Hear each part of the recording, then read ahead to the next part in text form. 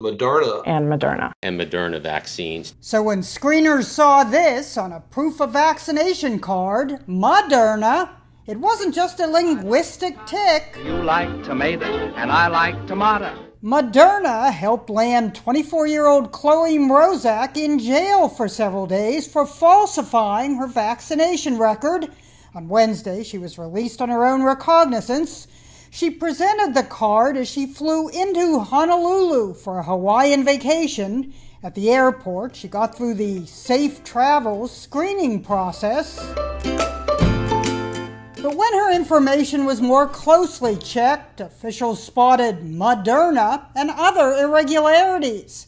The card said she was vaccinated in Delaware, but Delaware had no such record. Mrozak was arrested at the airport when she tried to leave Saturday. They used a tattoo on her Facebook page to help identify her. Her attorney had no comment when CNN contacted him. She tried to McLovin Hawaii, someone tweeted, a reference to fake ID in the movie Superbad. Wait, you changed your name to McLovin?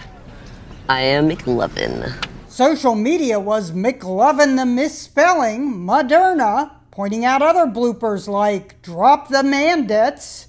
Imagine how she would have spelled Pfizer.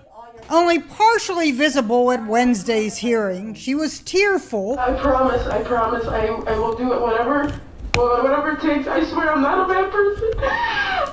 The card said she'd gotten injected by Corporal Wolf and Sergeant Monty, apparently from the National Guard. But the letters NRA had people thinking of the National Rifle Association. They are very experienced with shots. Maderna is literally what my grandma Dorothy called Madonna in the 80s.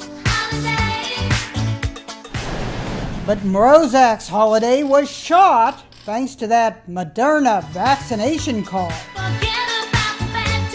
Jeanne Moos, CNN, New York.